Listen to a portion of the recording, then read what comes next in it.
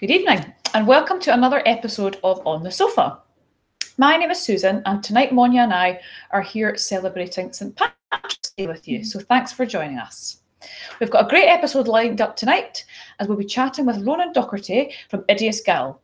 Oideas Gael is an Irish language cultural centre based in Donegal. So it was founded in 1984, um, and one of its key aims is to bring together people of all cultural and political backgrounds through the medium of Irish. So we couldn't think of a better way um, to mark today than by learning more from Ronan about the Irish culture, language, and also delve into some of the traditions surrounding St Patrick's Day. But first, we thought you'd take, we'd take a bit of time to look fondly at some of the Scottish and Irish links. So if you travel around Ireland and Scotland, you'll know a notice a similarity in some of the place names. Places like Kilmarnock, Ballachulish, Drummore, and Carrickfergus might come from either country. And this is because there is a shared root between the native languages of Ireland, which is Irish, and the Scottish Highlands, which is Scots Gaelic. Both are part of the Gaelic family of languages, but uh, which come from the Celts who settled in both Ireland and Scotland. Although the languages diverged from each other, there are enough similarities that a speaker of one might have a good guess at the other. So it's worth worth learning one. You can maybe Yeah, go to both countries. so. If you only learn one word, we suggest it should be sláinte, which is the same in both languages. It's the equivalent of cheers, um, pronounced slancha, and meaning to your health. It's quite a good one, especially for Paddy's Day. Oh, definitely. Definitely for De- toasting your whiskey. yeah. and talking of whiskey, moving on, whatever way you spell it, the juice of the bar- barley has a long tradition in both Ireland and Scotland. Whiskey with an E was probably first distilled by Irish monks. Um, there are records from the 15th century uh, for the drink known as the water of life. Uh, Old Bushmills in County Antrim was granted the first ever distillery license in 1608, um, which is quite a long time ago. Um, although many an unlicensed still was producing for a long time after that. Um, today, Irish whisky brands such as Jameson and Tullamore Dew are known worldwide. The oldest mention of Scotch whisky, with uh, so that's without an E, Mhm. is from 1495 when King James IV gave an order to Lindores Abbey for oh gosh, 1500 bottles of the stuff. That's a Quite so- keen. Yeah, thirst, thirsty man there. Uh, distillation, both legal and illegal, continued to grow in the following centuries. Um, and today, Scotland boasts over 80 distilleries. Uh, eight of them are on the tiny island of Islay. Quite a good place to be then. Yeah, ah, if you like whiskey, certainly. Yeah. So Scotch, so Scottish whiskey, is typically typically distilled twice and uses peat smoked barley, while Irish whiskey is normally distilled three times and uses kiln dried barley. So this gives Scotch a smokier taste and Irish whiskey a smoother taste. So which is better? That's personal preference. Um, obviously we're a bit biased towards our Scottish whiskey, but go and try both and Yeah. be the judge yourself. So now something that some of you may already know is that along with our Scottish tartans, we also weave and stock Irish ones. These differ slightly to our Scottish ones in that they are based on whichever county your family is from. So my surname actually has a link to both Scotland and Ireland, so I can wear the County Armagh tartan as well as my Scottish version. good. So You could wear quite both. lucky, yeah. Could you wear both at the same time? Oh, I suppose suppose I could, yeah. Do a bit of mix and matching. So all of our Irish tartans can be viewed on our website and we'll post a link in the comments below for you to see those. There we Go. So without further ado, let's start the chat with Ronan. Okay. I hope you enjoy the interview. He's got a lot of interesting things to tell Yeah. us.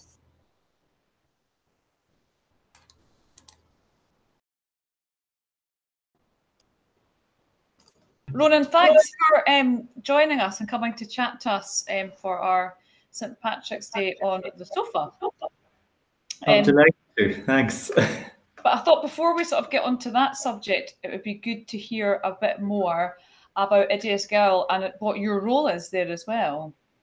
Sure thing. Well, well, Scale, we are uh, we provide uh, language courses and cultural activity holidays for people. In in normal times, what happens is that people come here in their holidays, and the majority of people come to learn Irish Gaeilge, what we call the Irish language, and um, it's very informal. Part of the point is that it's very much outside of the formal education system. So people are people are here on their holidays, and as I say, and they're learning Irish. But as well as that, people come here to do hill walking, to do um, they do tapestry weaving, they do uh, photography, painting, all kinds of different things as well. And they do that to a large part through Irish as well. And it's another another way of learning the language. Of course, for the past year, it's been a little bit different. We haven't had so many people and uh, everything's gone online, but we've had a bit of fun with that too. And it's sort of made it easier for certain people to, yeah. to keep in touch with us. So that's that's been nice as well. So you've been doing quite a bit of online like online courses as well then? An, an awful lot, yeah. We've had it's actually it's almost a year ago, Easter um, 2020. We did our sort of first full week of online courses, and I think we've we've had about 800 people since then. And uh, before ever before this, uh, the, I think one of the most interesting things for people that came and visited uh, visited us here was that um, you'd come here and about 60% of the people would be would be Irish or they come from the island of Ireland. Mm-hmm. But then probably about 40%, almost half of the people come from all over. So we have plenty of people from Scotland, but we have from England, from the US, Japan, Russia, everywhere. And that was always the case when the courses were physically taking place here. But it's that yeah. wee bit easier for those people to kind of connect in now as well. So that's that's been nice. Yeah, I mean that's the, although um, you know um, it's unfortunate that we can't travel. I mean, you know, things like this make it like the, the hardest thing is sometimes yeah, when, when when technology doesn't work. but it, like you say, it makes it just for accessibility. If perhaps someone wasn't able to travel, um, that yeah, then they're able to, to learn yeah from home. Which is great, really. Absolutely, and and it's been amazing what you can do online because we've had a lot of things that started out as sort of crazy ideas, and then and then. Uh, then you end up doing them and you're asking what my job is. That's basically i mean i go i do everything from taking out the bins to creating grant applications but but uh, but um but a lot of that uh, what i've been doing the past year is that we've been going well we normally do an archaeology course. Can we do an archaeology course online? And, and amazingly you actually can. And, oh, uh, and it's partly pre-recorded and then partly live and all of that. And it's it's uh yeah it's, it's it's been great fun i have to say. And when all this is over because at the end of the day um, part of what we do here as well is as well as sort of offering a kind of service to people who come and visit we want to kind of add a little bit to the life of this is a Gaeltacht region where we are. We're in Glencolumbkille in southwest Donegal in the northwest of Ireland and uh, you, you, know, when people are here, they're staying in the B and B's, they're going to the pubs, they're eating food. You know, there's a you know there's a there's an economic value too, which obviously isn't happening at the minute. Yeah. And so, you know, ideally, we hope we'll eventually be able to return to that too. But but the online piece will always be there, and I think it'll add greatly to it. So uh, so that's you know that's the positive take on things, yeah. and uh, you have to have to look at the bright side. Well, exactly. Stay positive um, yeah. Oh, that's really good. That's brilliant. Yeah. And then, so you've obviously you've talked about um, language courses, and then and also ones for like complete complete beginners. So, like, I mean, I, I suppose maybe for you, you, I was going to say, in your opinion, you might think it's very easy. Like, is the Irish language is it is it difficult or is it quite is it relatively easy? Yeah, no, it's a it's a reasonable question, but I suppose like the way I always look at it is no no language is kind of objectively easier or harder than another, but it depends where you're coming from. So if you're a, if you're a native English speaker and you haven't learned any other languages before, Irish I would say is probably a little bit harder than say French or Spanish, which might be a little bit closer to what you're familiar with. Um, there's some things. So, so for example, in English, you know, when you when you make a sentence, you you sort of say, "I went to the shop." So you you put your you first, and then the verb, and then whatever you did comes after. Whereas in Irish, the verb comes first. We sort of say, "Went I to the shop?" You know, so okay. Uh-huh. so there'd be things like that that, that are a little bit different. Um, but then it's it's easier than a lot of other languages too. Pro- probably the biggest challenge that comes along with learning Irish, and I'm sure we'll talk, we'll mention uh, Scots Gaelic, Gaelic a wee bit in, in the context as well. I'm yeah. sure it's a little bit the same too. Is that if you're say trying to learn it outside of a, I mentioned this is a Gaeltacht region, and the idea of a Gaeltacht region is it's an area where Irish is still kind of widely spoken in the community. Yeah. But if you're trying to learn Irish outside of a region like that, there's you know there's there's an added difficulty because you just have less opportunities to practice. So yeah.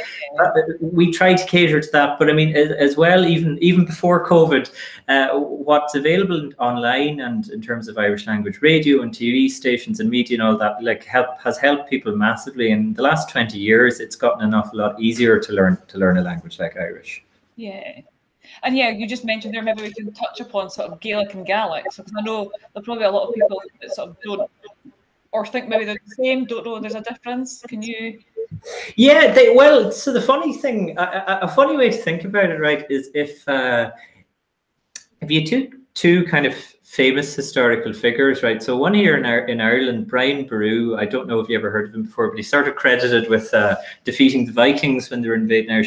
And then if you take Macbeth, right, take uh, much, probably uh, famous from the play, but uh, I think probably uh, a much nicer guy than he was made out to be. But um, but uh, so they lived about the same time, you know, in the 11th century. And if they ever met, I don't think they did, but if they ever met, they would have been speaking the same language. They would have, they would have, um, you know, they would have understood each other perfectly. And they lived in a world where that was you know that was the language. And uh, you know they had lots of contacts with other places but they might have they might have written to them in latin and things like that.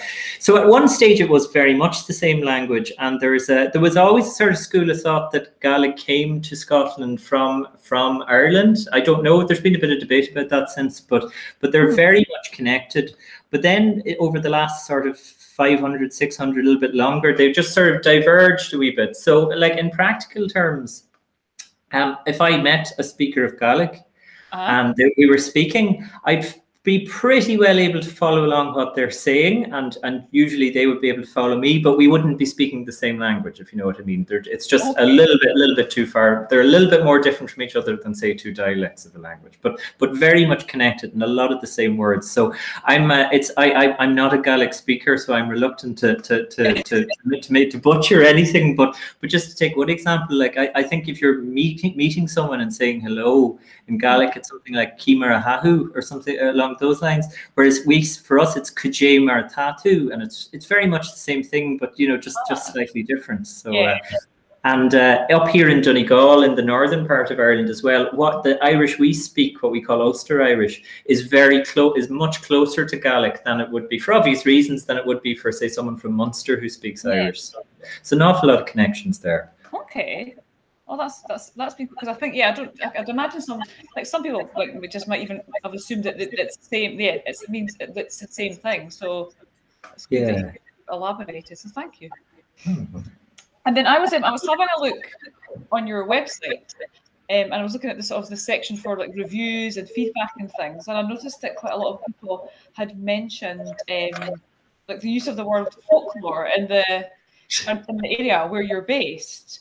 Um, so I just wonder if you could tell us a bit more about that. If there's something something specific, or um, it's probably loads of things. I mean, we're, we're lucky to be in an area that it, it's it's it's very rich in terms of folklore, but kind of folklore comes in all sort of shapes and forms. So you have um, you've even everything from the place names. I mean, the place names itself they are very descriptive. So there's you know there were there were going by the place names, you'd know that there were eagles here once, though there weren't now. There's a lot of place names that mention, say, eagles and things like that. Mm-hmm. Gives you sort of clue to what was there in the place. And then there was a huge storytelling tradition in the area, and there still is. There are still a, a few storytellers in the area, uh-huh. and, and the kind of stories they would have told would have would have ranged from the very sort of classical kind of mythological kind of stories, things to do with the Fianna and uh, and uh, yeah, Finn McCool and Cuchulainn and all of that. There would have been an awful lot of stories, and these would have been long stories that people would have memorized. And you know, in the winter time, they would have told in people's houses. We have this word airneál, which is you know, sort of going around in the winter, having you know, having a bit of crack at people's houses, telling stories, passing the time, and that would have been a massive thing. I mean, right up until right up until the 40s and 50s, you know, of the last century, that would have just been, you know, regular way of life. And of course, television and everything changed that a wee bit, but it's still still carried on, and still, I say, a few people in the area who are, who who have quite a lot of stories, and uh, and uh, as well as that, there's other there's other ways folklore comes into it. Um, I mentioned this place is called Glencolumbkille. An awful lot of the folklore is to do with Columcille, who is a who is a saint who share we share a kind of connection with Scotland there because obviously he went to Iona. But um, he there's a lot of folklore in the area to do with him and there's a pilgrimage that's done every year on the 9th of june what we call the Turas would be a journey or, or, a journey or a pilgrimage and people like it's been done for hundreds of years it's still done every year on the 9th of june mm-hmm. and it's a sort of there's sort of 15 stations or stops along the way okay. and uh, people they're they're all these some of them are these gorgeous ornate kind of standing stones. And there's all sort of traditions associated with the Turas too and what people did. So yeah. There's uh, there's a, there's a lot of different aspects to it so uh, oh, yeah. It sounds yeah i think you, you mentioned earlier but it sounds like um, in terms of learning it would be a fun a fun place to learn if that makes sense. Because it just sounds like there's quite a you know sort of a lot sort of to sort of stimulate the senses going on which is nice it, it is, yeah, it is really, you know, and that's that's certainly what we think, and that's that's what a lot of people say when they come and visit. I mean, there's it's it's got a lot going for it in the sense of the, the where it's scenery wise, it's a very beautiful area, and people are interested in different things. I mean, this would be a huge area for traditional music, particularly fiddle music as well, mm-hmm. and so people who come, that's actually a lot of the way that people sort of discover the area first is often through yeah. music and uh, so that would be a big part. But then there's some people, not all Irish speakers are into traditional music either, and people have other interests. So, so just as you say, you can kind of, uh, you know, people come for all sorts of reasons, and some people are interested in the archaeology, some people are interested in the folklore, some people like the hill walking and the outdoor activities. And uh, yeah, it's all very practical. And as you say, we kind of keep it as far away from a sort of a school experience as possible, as if people are yeah. here to enjoy themselves and have a bit of fun too. Yeah. So that's important. makes learning easier as well like you say, if it's less sort of rigid and like, yeah. Does indeed, and people, are, and of course these are adults. You know what we, the courses we do are for adults, and so you know they're adults, they're not kids, and yeah, it's a different, it's a different way, and it does. But we we very much think that um, you have to enjoy it. I mean, you're not going to keep doing something that you're not that you don't enjoy, and so yeah, yeah, you have to have a bit of crack with it as well.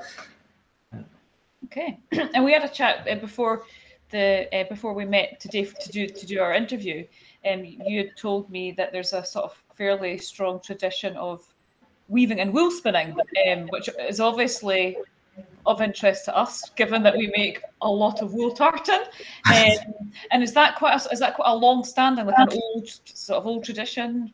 Yeah, I think in one way or another, I was studying this. So I have a, the only reason i am not trying to look intelligent here with my book, but I was studying. There's, there's a very good book here on weaving tapestry in, in, in, rural rural Ireland. I can give you the details about it again. So I was studying. So it make they make the point that sheep came here about six thousand years ago. So they were going. The people have probably been doing an awful lot with wool for a very long for a very long time. But there would have been there would have been like uh, like spinning and weaving would have been a very big industry in in this area. Well, eh, I don't know if industry is the right word but a lot of people would have done the work. And uh, I mean, some of it would have just been to produce clothes for themselves. It's I'm sure it's the same in Scotland. These kind of areas, people here uh, traditionally, you know, it's farmers and fishermen, and people who are very kind of self-sufficient. And for a long time, this area would have been very isolated from other parts of the country. So people sort of people made their own clothes and did it all that. But but maybe in the last sort of 200 years or so, I mean, it did sort of become an industry as well. It was how it was part of how people made their their their their um their living, and uh, that's. Uh, that's it's changed a wee bit in in say in recent times in the sense that there are there's a couple of there's a couple of um, excellent businesses around here, Rossin and Donegal Yarns and Studio Donegal, and uh, I'm afraid of leaving anybody out, there, but uh, there's a there's a and, uh, Fisherman Out of Ireland and a few more, but they, but um yeah, and so they they very much now are making clothes for people who are much like yourselves, it, you know, for people who are interested in sort of a fashion, less for practical reasons and more for fashion reasons. And there's a tourism aspect to it as well, but it's continued. But the other, the other thing worth mentioning that might be a little bit unusual is, uh, and that's what, what this book's about, but about 20 years ago, there started a project to do tapestry weaving okay. with with wool and with the kind of traditional dyeing methods. Because there was a big tradition of natural dyes you know of kind of uh, lichens and seaweeds and things like that and using that to dye clothes. And they used them to make these sort of very artistic tapestries, Yeah. you know, and they've they're exhibited all over the world, and there's a good few of them sitting in embassies in different countries now. So it was a very it was a project called Taipéis Gael, and it's uh, yeah. So there's a lot of it's it's it's amazing. Like what uh, I I was I was joking with you with you for the program now. Don't ask me too much about uh, tartans because I'm not going to make any claims about being a, a, a knitter myself. But uh, but um, I, I just, it's like I say the kind of the artistry of it and uh, and uh, what what people can create, and it's all natural material and very sort of sustainable and everything. You know, it's it's it's it's brilliant, really. Yeah, and especially well, look the tapestry that you're talking about, especially if that's hand dyed as well. I mean, that will be a very lengthy process to get it to the finished to the finished piece as well. So Absolutely, and yeah, they were like, what they were doing was a lot of work on commission because it's not something you would be sort of commercially producing at, at, at scale sort of and, and yeah it was it was they were and some of them are huge you know they made a lot of small ones but some of them would be you know the, the size of the size of your wall you know so it was uh yeah it's very it's it's it's it's uh, it's amazing but uh it's it's uh, as i say just like yourselves it's very it's a very um it's a great use of the natural resources, you know, that, that are in a, in a place and people's skills and these skills that people had, and it means you're not losing them. Yeah, that's important. And and like you say, I guess I think particularly something like like like well wool like tartan is that it's it does it it is kind of timeless as well. You know, I guess that's why I like uh, you know a lot of people like what we do is that yeah that when you sort of buy something that is it can, it can last a lifetime essentially. So Absolutely, yeah, and that was yeah, and that was people. People made clothes to last. They weren't they weren't throwing them away and buying them again. And you know that that stands. I'd say even if people aren't doing it for such practical reasons now, that's the that's the tradition that's there. And yeah, it's it's brilliant. The quality kind of carries through. Yeah. We'll get once we've finished. I'll I'll get the name of the of the book from you. We can put it into our um, uh, we can put it into our Facebook comments. So if anyone wants to sort of look it up, then they can. Brilliant, brilliant, brilliant. Okay. So we should probably, yeah, we should probably now move on to St Patrick's Day, shouldn't we? We've not got there yet. We're there now. Going on, is there? Yes. yeah. Um, and yeah, I guess it's wrong to assume because probably yeah, not all of our viewers will probably know why exactly we celebrate it. Um, so are you able to? Is that something you can can help us Yeah, with? yeah. Well, I can. I, I, I really should be able to say something. Yeah, but no, I do. And a lot of people, it is one of those things you grow up with in a lot of places, even if you're not Irish. Like the parades happen and this goes on, and people kind of take it for granted. But I suppose why do people celebrate St. Patrick's Day? Well, St. Patrick is. Um, the, the patron saint of Ireland. So he was, and of course, every I mean, you have you have Saint Andrew and Saint George. Every, most countries have have a patron saint, but um, but I suppose I guess the big factor here was the emigration that happened from Ireland and the way Irish created. You know, we've there's there's millions and millions in the Irish diaspora, and they went all over the the world. And I suppose they took St. Patrick's Day with them as a sort of a you know it's a day that kind of celebrate your your national identity and all of that. And and so from that you have this sort of tradition of making a of making a, a celebration out of the day. But maybe we can we can say more about that. But uh, an interesting fact about St. Patrick himself that um, that sometimes people outside of Ireland don't realise. Of course, number one, he's he, he's not actually Irish, or he wasn't born in Ireland. He's uh, he's he's a Briton for su- for sure. There's a bit of debate about where. If you if you ask. Um, if you ask most Irish people, they would tell you he was born in Wales. I don't think they really know. Um, but, but the one thing that was for sure is that he came from a, you know, he was from a, it would have been a, a Roman family. Of Christianity, of course, came to Britain with with the Romans, and uh, so he, you know, re- reputedly was um, taken as a slave to Ireland. Um, at, at some point, maybe when he was a teenager, and he spent six years in County Antrim and Slieve Mish, uh, just working escaped, went back to went back to Britain, and uh, and uh, sort of later found a calling and uh, oh, studied to be a priest, and came back and is reputed to have co- converted um, Ireland uh, to to Christianity. So that's that's how he gets uh, how he, he gets that particular um, position. But of course, there's all sort of stories and tales and traditions associated with St. Patrick and with St. Patrick's Day. Um, some of them some of them more or less uh, religious, depending, but um, and uh, and it's yeah, it's just it, it's it's just a huge day of celebration for Irish people. Yeah, and and so, uh, how like how is it celebrated? Like what in Ireland? What's like so what happens? Yeah, the, I suppose the main feature that you'll get um, that people think of and think about. They think of the parades. So there's always a parade, and in, in Dublin every year you'll get a you'll get a a large national parade. But the thing maybe people forget about sometimes is that every town in Ireland will have some kind of so so Cashel here in Glencolumbkille, we, there'll be a local parade. In the next parish there'll be another parade. So it's a it's a sort of a it be it's a community event. You know, different businesses, different organisations in the area they'll throw something together. You know, it's usually there's often a lot of humour in it. You know, there'll be there'll be sort of you know there'll be something making fun of something, or it'll be St Patrick and yeah. snakes and and uh, and things like that. So and that's that's probably the main feature. And obviously, then there's you know there's there's there's the religious side of it, and also there's a there's been a there's been a little bit of an association between St Patrick's Day and people having a good time in the pubs as well. And uh, these are all different different parts of it. And uh, so actually, you know, the St Patrick's Day that you have in different places around the world is um is not is not too different from what we get up to in Ireland, but. Uh, I no, go on.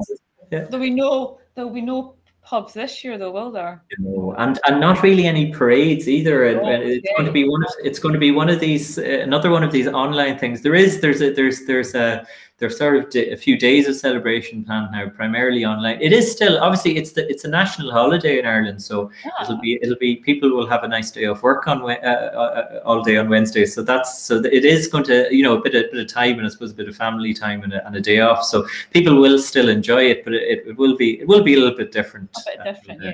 Have you got anything planned?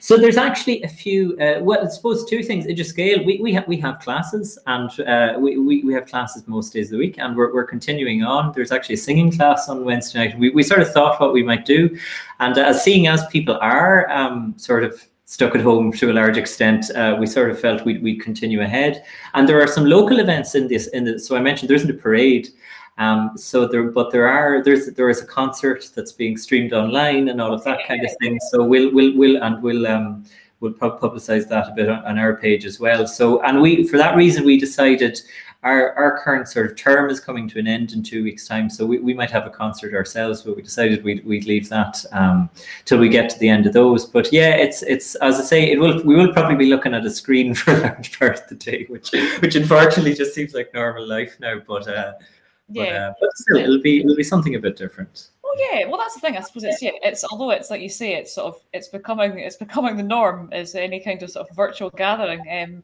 like you say, I think maybe when it's for something slightly different, because we did actually for um for Burns Night, we um had put together kits that you, that you could purchase. So it was yeah, if you were yeah, you couldn't have people around at your house, but it still it makes it a bit more you know it's a bit more of an event. It makes it a bit more of a special thing to do, um, which is quite nice. Absolutely, and you do. It's good to have things that sort of mark out certain days, yeah. from, so it doesn't all blend into one. Yeah, exactly. Yeah. so used to get dressed up for some for some reason. Yeah. right. And then yeah, because you were talking about sort of like myths and stories and things um, that that sort of circulate St Patrick and St Patrick's Day, and even just from doing like a quick um, sort of Google search, some interesting ones came up. So I thought I must ask you like, either your thoughts on them or if you've heard any sort of really strange ones. The one that I that I had read um, was that St Patrick is said to have banished all snakes from Ireland. That's yeah, well, that's not a strange one. That's if you ask if you ask you know uh, kids in Ireland, you know what did St Patrick's do? That's number one. That's the first okay. thing they'll come back and tell you that he banished. so yes, he is reputed to have done that. Now. I think if you check it out, they, they're fairly sure that there haven't been snakes here for thousands of years. So whether we can whether we can create credit St Patrick with it, I don't know. But that's that's definitely one of the things he's uh, he's reputed to have done. right. But there's a there's a whole um, there's a whole load of traditions associated with St Patrick. Like the uh, one of the more interesting ones, I think, is um, there is a set of stories. Uh, so the, in in kind of Irish mythology, there there's a thing called the, a group called the Fianna, which there's a there's just a whole lot of legends associated with them.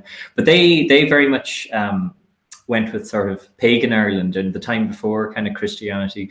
But there's a brilliant series of stories. Um, they call it Agallamh na Seanórach, but it's it's the idea is that one of the Fianna was sort of still alive when when when Patrick was was uh, was was going about the country, and so he sort of um, travels around with him as he's doing his uh, as as he's doing his rounds of the country, and they have this sort of dialogue, you know, and sort of Patrick sort of telling him what why you know you know the Christian life is better, and and Oisín who is the who is the person that's coming, is sort of talking back to the days of the Fianna and the warriors, and and uh, how you know it was brilliant, and he, he sort of you know, he sort of makes the the Fianna sort of sound like the Rolling Stones, and you know, the, you know, the brilliant times they got up to, and and uh, and then Patrick has his response. But you know, those kind of stories are are, are brilliant. And then um, we mentioned where the pub sort of comes into it, and the sort of uh, you know that people sort of um, get up to all sort of madness on, on St Patrick's Day. But some people credit Patrick with that too. I'm not I'm not I'm not yeah. sure is that, but there's there's another story that um, Patrick. Uh, visited a visited a whatever the equivalent of a public house was at that time, uh-huh. where the owner was um, sort of famed for not being the most uh, flaithiúil, as we'd say, the most generous uh, with his measures and things like that. So um, uh, the story goes, if I'm right, that he, that Patrick told him that in somewhere in his basement or building or whatever that there was a that there was a there was a demon and the demon grew uh, with the, the smaller the measures he gave him the drinks. Ah, um, okay. so, so when he came back, you know, a month or a year later or whatever, he found that uh, that this person was, you know, being serving large, generous measures of everything, and uh, and he had this tradition then of the pot of Phádraig of, you know, of a, of a generous glass of whiskey on, on St Patrick's Day. So, uh, so whether it's true or not, it gave people a bit of license to, yeah. to enjoy themselves. Clever one, to be honest yeah. Why did you get away with that now? Try uh, to try that, but maybe yeah. Exactly, exactly. I don't know were there any other legends you came across there now that. Uh, um, I think that was I that I couldn't I couldn't uh, find any other ones, but um, yeah, because I just I suppose you're saying that's just sort of that's a common one, but I suppose for someone that doesn't know as much, I thought that seems a bit odd but oh absolutely yeah and it's a good it's a good one. Of course the other the other funny one so you're where i'm talking to you from here in, in Glencolumbkille the, the, the other funny fact about all is this is one of the parts of ireland that it's claimed patrick never visited uh, that he stayed away from, which which uh, is down to a later legend to do with. I'm not sure if you if you, you I'm sure you have heard of Columkill before in Columkilla. So the, he was a slightly later St Patrick's meant to have come to Ireland in 432, mm-hmm. and uh, Columkill it's actually his 1500th birthday this year. He was born in 520, okay. and there's actually a few kind of events going on this year to commemorate that. But uh, but um, he is reputed to have, Patrick's reputed to have come to this part of Ireland and found it to be filled with sort of uh, demons and bad spirits and basically said, no, not my problem. and uh, and, yeah. and said that someone else would come along later who would sort of be able to do the job. So I think there's okay. a bit of John the Baptist kind of thing in there. But but that was Columkill, and obviously Columkill's supporters. So to have come to this area, clear, cleared it of, of all of it, of all such you know evils, yeah. and uh, and established you know a, you know a, a, so a nice new. Um, peaceful place here. But of course, I, actually find all that history very interesting because I think saints in sort of early modern, or not, yeah, early Ireland and Scotland, mm-hmm. uh, it was almost like supporting a football team. You know, you had people, places had their saints, so they had Saint Columkill yeah. here, and of course, so they were you know, they were the ones you put forward and they were able to do the things that the other ones weren't. So it's sort of like supporting, you know, Celtic yeah. or Rangers or Man United. yeah. And, uh, to, yeah, it's quite a good way to sort of think about it, actually. Yeah. um, but uh, so so yeah so as I say so Patrick this is a place where Patrick almost definitely didn't come but uh, come. Oh. But um, but then Columkill, as, as say, he was born in another part of Donegal, mm-hmm. and um, but later in his life he was he, he was exiled. He sort of self-exiled himself okay. to Iona um, of Scotland, and from there, so a lot of um, when people talk the Book of Kells is a very famous piece of artwork, but there's a very large thinking that that was actually made in Iona and would have been brought back with Columban okay. monks then. So, uh, so yeah, there's all these sort of connections. That's brilliant. Yeah. Ronan, thank you, thank you so much. It's been honestly, it's been very, very informative um, and very fun as well. Oh, good. Well, it was lovely. It was lovely to talk to you, and uh, yeah, I hope very much when this is all over, we'll we'll um, we'll, we'll we'll be able to make it over to, to, to Scotland, and yourselves will be in Irish and in, in Ireland. I'm sure. Yeah, say hello you're ever in this part of the world. Hopefully, not too much longer. Exactly. Thanks ever so much. Thanks, Rick. Good. Thanks very much. Bye. Slán.